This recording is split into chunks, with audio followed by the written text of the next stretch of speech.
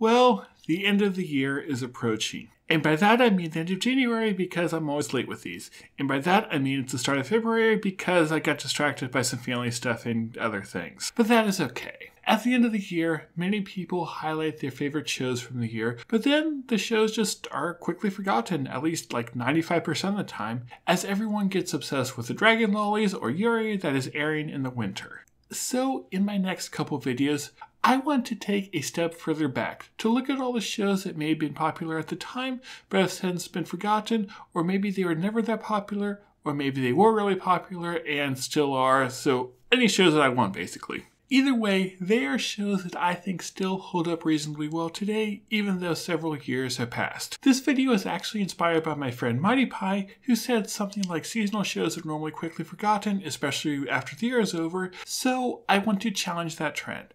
And not just because I'm still working my way through 2017 anime. Only 10 shows to go at least. So let us get on with the list. Do keep in mind that this is based off my own taste, so you might not like everything, but my goal is to hopefully highlight at least one show that you'll enjoy that you might have otherwise missed. Also, the list is unranked, just me going through all the seasons, though the first and last one do stand out, though we'll get to those soon. And by that I mean right now, because Starting off at number one, we have From the New World, also known as Shinsekai Yori, and this is one of my favorite anime of all time. I really can't believe I haven't talked about more considering how much I like it, but it blows away everything else that I'm going to talk about today. It tells the story of a society in the future that lives a calm and simple life, distant from the technology that we have today, though the characters do have supernatural abilities. The world is filled with questions of how we got to have such a society, but more than that, what happens when such a perfect society starts to crack. It's also the story of humanity as a whole, and it is chilling how accurate the show's portrayal feels. If you have not seen this show yet, just go forget the rest of this list, go watch it right now. Seriously, it is just that amazing. Number two, Attack on Titan. Well, I didn't say I was just going for obscure shows, and while Titan might be overhyped to some degree, the thrilling story both season 1 and season 2 offer are things I don't think I could forget. So, if you haven't somehow already seen one of the most popular anime ever, you really should go fix that. Number 3, Free. Another show that really needs no introduction. But I have to say that I did enjoy uh, this show a lot more than I thought I would. It was fun seeing a lot of the moe tropes kind of flipped, but beyond that, there was some interesting drama, and I liked the sports parts of the show as well. At least more than most sports anime that I have tried. I still need to see beyond the first season, but I'm sure I will enjoy it once I do. Number 4, Hyperdimensional Neptune. Or is it Hyperdimensional Neptunia? I forget.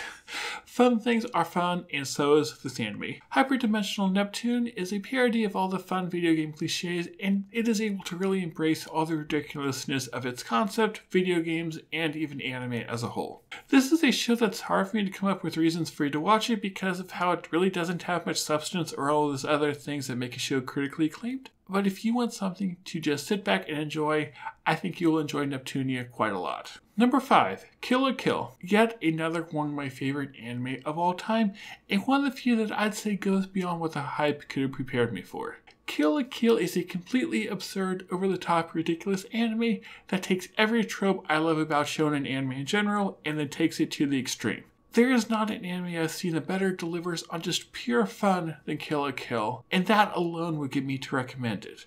But it doesn't just stop there. It tells a genuinely interesting story of revenge as Ryuko tries to unravel the mystery about her father's murder. And to top it all off, you have all the themes about family, tradition, and finding your place in the tapestry of life all woven in.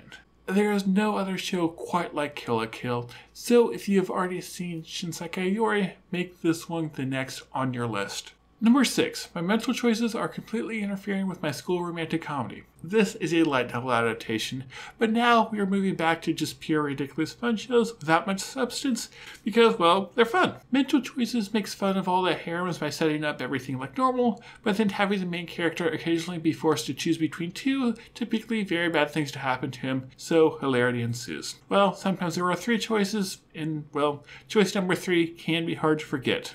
You know who you are. Number 7. Noragami. Now we move on to 2014 when I started following more seasonal shows beyond those like super hyped ones or those I randomly watch on Crunchyroll and found Noragami. Noragami is a show about gods, spirits, and the humans caught in the conflict. It is also filled with a lot of comedy, character growth, and also some solid action. It isn't something overly new or different for fans of action shonen anime, but it is one of my favorites of the genre to come out in the past few years, so if you like shows like this, then, well, I think you'll like this one as well.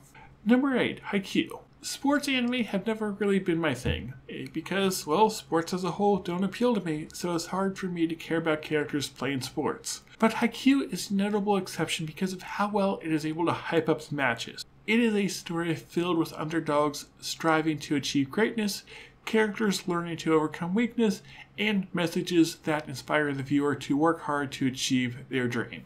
If you like volleyball or sports anime or just hyped action, Haikyuu really is something you should watch even if you aren't interested in the concept. Number 9, Celestial Method. Celestial Method, or Sora no Method, was the debut show from a little known studio called 3 Hertz, though they have become more popular in the past couple years for, well, good reason. Celestial Method tells the story of a girl moving back to her hometown, the friends that she lost, and this giant saucer that floats over the town. This is a show filled with beautiful visuals, and music allows this admittedly simple story about friendship to have an emotional impact. I can see why the show has been forgotten to time, but with the impact on me, it is not one that I forgot. So I figured it was worth including on the list. Plus, it's a complete show, unlike the other one I was considering to put there in its place. Come on, Trigger, I expect you to finish your shows. Plus, I like being able to look back and say that I liked the studio before it was cool, not like that matters any. And number 10. Well, it wasn't intentional, but I did kind of just save the best for last. Well, by some definition of best at least. And by that I mean my definition of best. Now, you might be wondering what show that could be. And if so, then you really don't know me well, because it is Ore Twin Tails Ninarimasu. Now, what haven't I already said about this modern masterpiece of amazingness? It is a story simply about a guy who becomes a magical girl, save the world from aliens who want to steal the love of Twin Tails from the world. But it is also about following your passions, staying true to what you believe, but also the danger when the world comes to corrupt what you love. Growing up following your dreams can be hard, but those who have twin tails in their heart have the soul of a dreamer and will achieve their goals no matter how absurd or impossible they may seem. And that, my dear viewers, is 10 anime from 2013 and 2014 that I feel deserve remembering. Are there any shows that you feel like I missed? I know there are shows I feel like I missed. Looking through MAL for these two years, I saw more than a couple I really wanted to watch, though I just haven't yet. But maybe one day. But for now, time to go watch more of random anime from 2017. Anyway, I hope you enjoyed this video, and I will see you all next time.